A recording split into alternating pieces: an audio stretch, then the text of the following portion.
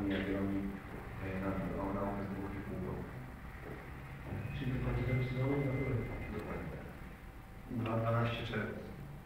Proszę, pan się zdecydował w ogóle na Białystok, bo tam propozycji, jak tu czytałem, było kilka wcześniej. Się na to składało. Już du- dłużej. Po prostu Jagiellonia była pierwszym klubem, która się do mnie zgłosiła i konkretnym. E, Nie ukrywam, że cieszę się, że jestem w tym zespole, że, że, że w tak ambitnych planach mogę uczestniczyć prezesu i tutaj społeczeństwa białostockiego. E, I też jakby chcę, chcę coś wnieść do tego zespołu. Widzę, że tutaj się kreuje jakiś dobry zespół, dobry team chciałbym w nim uczestniczyć.